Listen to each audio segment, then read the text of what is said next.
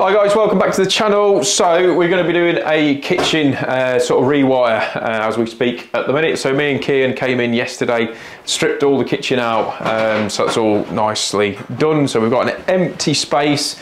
Um, so in here we've only got a spur for this socket, which is original, and a spur for what was the dishwasher. So it's not good enough. We haven't, We've basically need to upgrade it. Um, so I'm going to show you where the board is and the plan is that we're going to try and go underneath the floor because I'm going to put uh, a new kitchen ring in here um, because we obviously haven't got anything. Um, so if you're new to the channel and you haven't subscribed yet, make sure you do so. Link is in one of the corners. Let's get this channel to grow. So right, let's show you that board. So, so far we've lifted up some of the boards. We found another um, another circuit here, but I don't actually know. We've tested it, it tested out okay, but that goes back to the board, so we've located that.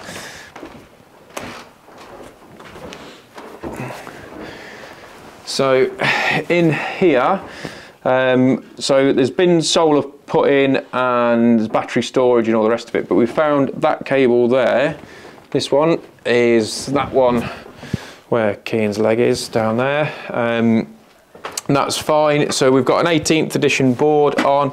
It's a split load board, plenty of spare ways. So the idea is, is that we're going to try and take this bit out. So I'm going to take this unit out. Um, and hopefully going to fish underneath the flooring here underneath that cupboard um, in this bit because the floor is all new we don't want to be taking that up. So that's the the idea. So at the minute we're just trying to lift and get a plan back there. So kitchen layout itself we've got fridge going in here and then there's tall larder units all the way along this bit. Um, and then within the larders they've got like a, a pull out worktop area. So we're going to have a socket here, socket there, socket there. And then on this side, we sinks going back in this corner, um, instant boil going in, and then we've got a washing machine or yeah, washing machine, then dishwasher going here, then a hob, uh, and then a, like a stepped in unit there. So we've got our oven already in there and we're going to drag that one back that way. So there's quite a lot going on in a little room. Um, there's undercabs as well going in uh, along along this side. There's undercabs. This is going to be bricked up, bricked, I mean blocked up. Sorry. Um, so that's that bit sorted, and then there's plinth lights going to go in uh, along here, going to be on both sides on there. So yeah, quite a lot to do.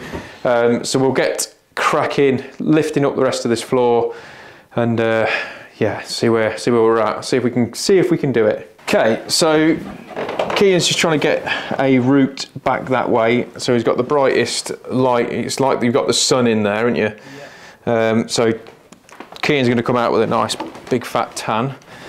Um, so what we've done here is we've loosened this off uh, up there and obviously down at that point.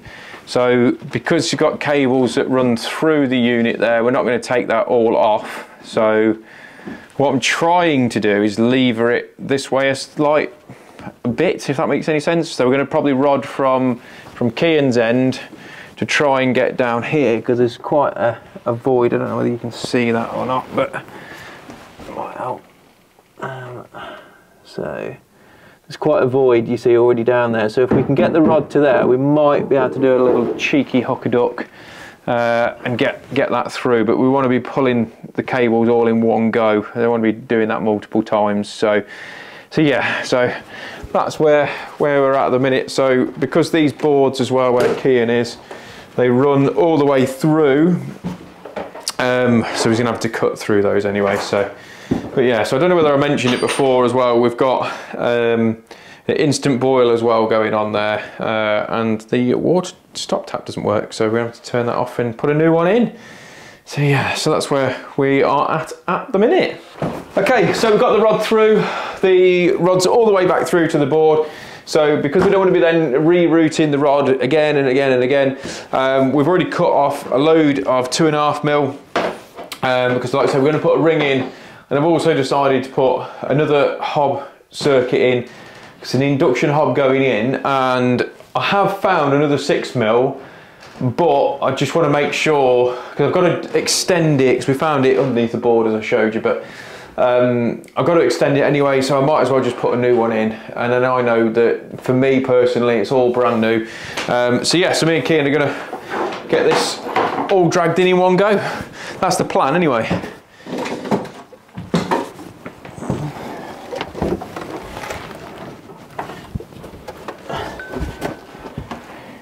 Okay, but if you pull that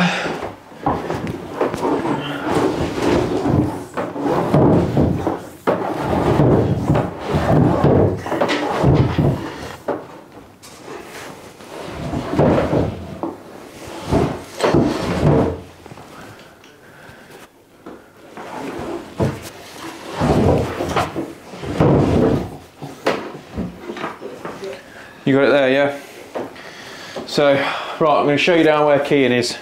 Okay, so we've, we've gone um, up to here now, so for right now, all I need to do is make sure I've got these cables that are long enough to go inside the board, uh, and then we can leave that well alone, dress it all in nicely, try and make it all, all work, but we can put the unit back um, once we've pulled all those in and reroute it where, where needs to be. But I think that's a bit of a result, to be honest, to getting those in. And then what we're going to do is where they come underneath the joists, so underneath there, we're going to keep them off the floor by putting a bit of banding strap underneath and then just holding them all up.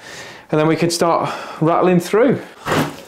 Okay, so we've got a bit of a dilemma. So the customer is outside on the phone trying to make a bit of a decision on what to do. So we've run the ring.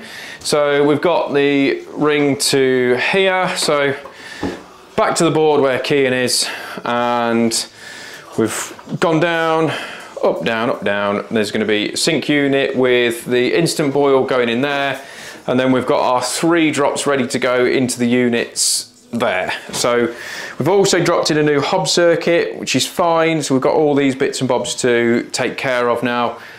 Isolate that off uh, and then we're good to go. So now we're talking about the downlights and stuff, okay? So the downlights are here, going down, and also then running down, uh, down to the hallway. So as it stands right now, there's no path all the way through. So now I've just pointed out to the customer that your downlights all the way down, they don't line up at all. Um, never noticed it before. uh, I feel pretty bad now. But he's never noticed it until I've just pointed it out and now he's like well actually that sucks so these to be in the center these lights now to be in the center of this room bearing in mind there's tower units going in all the way along they need to move over about 100 mil and then we need to line them all up it's a bit of a bit of one of those so we're now in discussions on whether we're taking down this ceiling above my head um, all the way through because there's no separation all the way down the landing. So yeah, job's just changed slightly. So, because really there's a few little cracks basically. There's one there, that's up there, you probably won't be able to see it to be honest. And another little hairline one there, near that one. Um, I, there's not much movement. I think personally it will get away with just, you know, raking out, filling, uh, and then painting over. But somewhere along the line, someone's took all the wood chip off the ceiling and then skimmed it all, which is brilliant. But then they stopped here.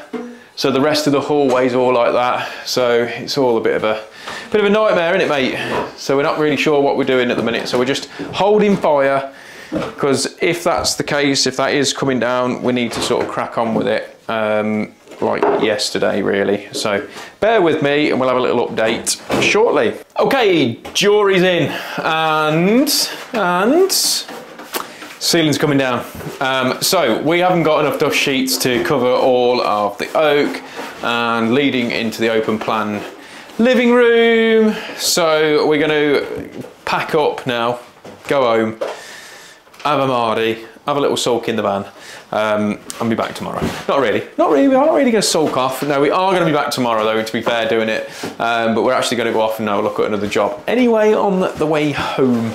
So we're just going to put the boards down for this evening because um, obviously we're going to be pulling some of those back up tomorrow. So doing it this way is actually going to be a little bit better um, because I can then move all the light positions around. I'm going to get rid of all the wireless switching, should we say, for um, the undercabs and the plinth lights by doing it this way because then I can then put a loop feed down to the light switch and then do it all from there. So we're a bit jazzy. So like I say, that's what I'm up to and that is what we're going to do. So we shall see you next.